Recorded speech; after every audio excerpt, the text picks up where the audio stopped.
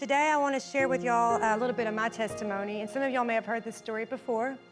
About a year before, the whole year before I came to Wings, I was living homeless on the streets. I was addicted to heroin. I was very lost and broken and hopeless, and um, I decided to surrender my life fully to the Lord. When I began to read the Word, you know, it was little things at first. I realized that the little things were happening. Um, for instance, I haven't said a cuss word in two weeks. That's a big thing for me back in the day. Do you know what I mean? And that's what starts happening little by little. You start getting transformed little by little. And the good thing about being transformed is you cannot go back. If you change, you can always go back. I don't want to just change. I want to be transformed, literally metamorphosed into something else. I stayed here at the Wings of Life. I read my Bible. I was seeking the Lord. I was getting closer to Him every day. And um, He began to speak to me and show me things. And uh, after being at Wings about six months, it was like the Lord gave me a vision. It was like a movie playing in my mind. And he brought back to my remembrance about nine months before I came to Wings of Life. It was two o'clock in the morning. Uh, in the middle of the night, I was high of my mind and I was digging through a dumpster. And I come across this book, Life in the Word by Joyce Meyer. And I remember looking at the book and I set it to the side. And when it was time for me to gather all my stuff, I put it in my handy dandy backpack. And that's where it sat for the next nine months. I never opened this book, I never threw this book away, but I never read it, I never did anything with it. Fast forward, it's time for me to come to Wings of Life. Nine months later, God uh, orchestrated me getting here, and I'm uh, cleaning out my backpack. And I see this book. I'm like, okay, it's a Christian book. I'm going to a Christian rehab. I'll just take it with me.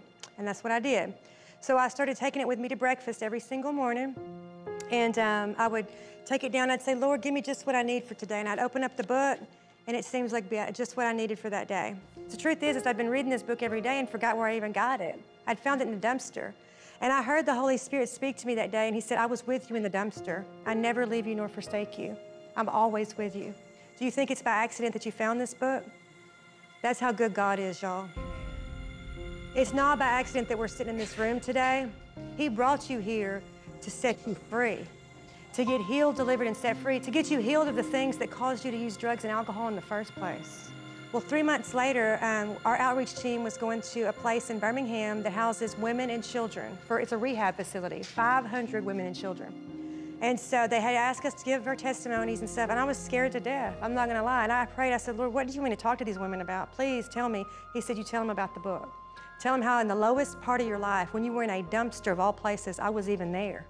And so literally this book has been to Indiana, to Texas, to Nashville, to Arkansas, back to Mobile, back to Texas again, all over the place. And it's ministered to thousands and thousands of people.